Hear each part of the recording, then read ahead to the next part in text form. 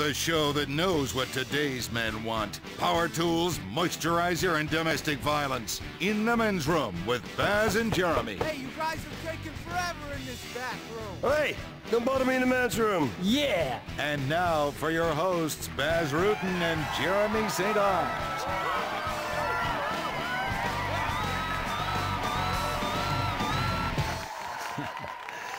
All right, hi everybody. My name is Bas Rutten. Mm. And I'm uh, And welcome to the man's room. Yeah, yeah, let's kick it up. And that's exactly what I'm gonna do. Let's do this. Listen, the ratings are coming in, and people come to me and they say, Bas, how is this show on the air? And I say, this is a reality show. Yes. Two men in the bathroom talking, that's reality. That's where we can be ourselves. Talk about women, talk about love, and talk about snipping the vertebrae in a man's spine. How about going to the phones? How about going to the phones? I know it's time to go to the phone. Hey, let's go to the phones. So, who's on line eight? Hello? Who's there? I am watching you. Who is this? I know where you live. I'm watching you. I'm in your house. I'm sorry, sir, creepy guy, but I'm going to break your leg. Please attack me, and I will please return the favor. I'm gonna rip off your arm, and I'm gonna beat you with the red hand. Bang! Bang! And then I'm gonna make love to your femur. You know? Just like a dog. Bas, don't, don't. I'm, I'm really scared. Maybe it's that serial killer everybody's talking about.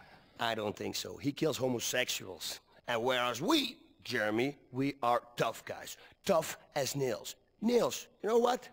I shoot a nail into my hand right now. Ooh. That's what we're all about. About helping people through difficult times in the man's room. Yeah, that's, that's right. Difficult times. You know what? You know what? What? What? Okay. I want to tell you something. On the streets, everything is legal. Being a man is legal. Well, not quite everything is legal, Bas, uh, but between consenting adults, most people turn a blind eye these days. I never turn a blind eye. You turn a blind eye, listen, you gotta get blinded. Bang, bang, bang! Listen, I get my wisdom from the Greeks. You must be like a centaur, part man, part horse. You get drunk and carry off the maiden, and anybody say anything, what do we do, Jeremy? Knee to the groin? Exactly, yes, right there! Paw! That's gotta hurt. You're playing a game, and we're calling this game Blue Ball Baseball. I did it once in the bar brawl in Manila. And all the guy at... Ah, all that guy left left was his blind eyes. And I walk to him, and I go, "Pa, pa, pa." So just three little jabs. Is that a retainer on your shirt, or are you just glad to see me? Boom, boom, boom! Three hooks later, I slide him down the bar, his face full of fucking glass. I swear to God, he'll never see again. It's... I... I do a shot, I play some pinball, and then, just for good measure, an elbow to the face, just like that.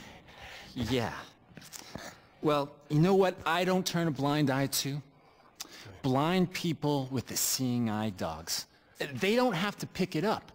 I mean, I wish I could poop in public without having to pick it up. I have no idea what you're just talking about, but hey, listen, I'm sure it's covered in my next book. Pre-order now to avoid disappointment, ladies and gentlemen. Yeah, great.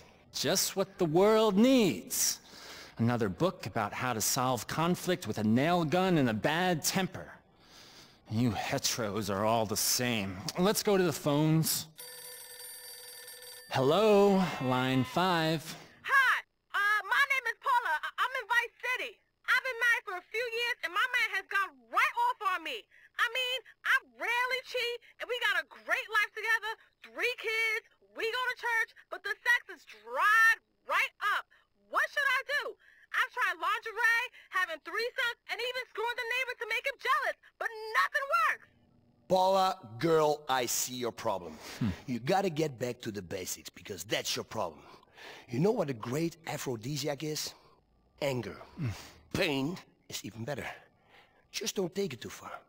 That's why grudge sex is the best sex you can have. right? Yes, yes. You gotta hate him, Paula. That's what I'm telling you. You gotta hate him. Um, okay. Yeah, and every time you make love, don't make love. Make hate. Call him names and really mean it. Little dick, no balls, that kind of stuff. Let him hit you a few times. Pack! Just on your freaking face. And then you really let him have it. I said to my lady, really, go on, smack me around. Take that chair, hit it right across my head. Bam! Because that's erotic. that. Men like this, Paula. I'm telling you. And then, Paula, give it to him with a baseball bat. Mm, yeah. So he's seconds away from calling the cops. Or, of course, we can always deliver the good crick in the pills! Bas. Uh, okay. Thanks, Bas. I'll be sure to try that and let you know. Thanks. Next caller, come into the men's room. Jeremy Bud, this show is gonna be fucking great! Oh, oh. So, uh, who's on the phone? Hey, Bas. My name's Travis. Your show sucks. You're not so tough. Yo, you teach all this stuff, but I could take you. Trust me, I have a gun. All your stupid roundhouse kicks and stuff can't beat a gun, homie.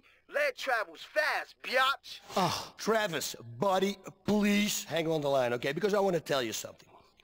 The Garden of Lavender and Roses is one that you have to crawl through over thorns with a knife in your mouth. Exactly. You bite back the tears with the blood running down your face. Hmm. This analogy is for life, and it's all covered in my next book.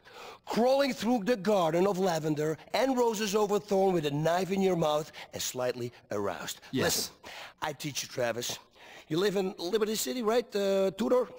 Uh, uh, yeah. But, but how do you know that? Well, let me tell you this. Pretty soon, in about five minutes, you will hear a knock on your door, and three guys will be there. the first rule of violence is don't always commit the crime yourself. Now, if you are choking on the sheriff and waiting for the posse to come, or making the Cyclops cry, it's no matter, because sometimes we all have to wait in the dark. Discipline. I tell it to Jeremy all the time. Discipline. It's discipline. Don't let the images Jeremy, of your stepfather hound you. Don't, don't let him. Don't tell no, him no, about No, no, no, You're a man. It's okay. It's okay. What happened is in the past. You're still a man. Don't worry. You are alone. Alone with your heartbeat. Life quickly spirals out of, out of control, Jerry. Hmm. I mean, come on. One day, you look in the mirror, and then suddenly, you just punch it. Back! And at that moment, you look at yourself in the mirror, and you see the broken reflection, and you, you feel empty inside. Bas. Bas, come on, let's let's get back on track here. That's right. When you fight the game of your life, punch your opponent in the liver, and that is pow, right there. That's the liver. You have to have the wings of an eagle, the body of a lion, and the tail of a howler monkey. People say, hey, listen, I don't want to study martial arts. The problem with martial arts is the years of training and celibacy. You can't fuck. It's out of, out of the fucking question. It's well known that ninjas aren't allowed to touch themselves, or they lose their edge. And if you lose your edge, not good. Now, this gives you great focus and precision when you're cutting off someone's head.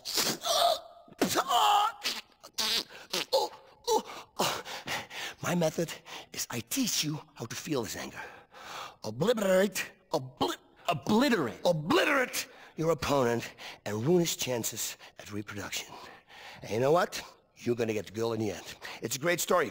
You know what else is a great story, Jeremy? Well, I really like Little Red Riding Hood. World War II is a great story. Vietnam, the Falkland Islands, Australia, men with bare hands taking care of business, setting people on fire, burning their And faces. that's all the time we have for this time. This time. This has been Bas and Jeremy in the men's room. Join us next time in the men's room. Only sissies wash their hands.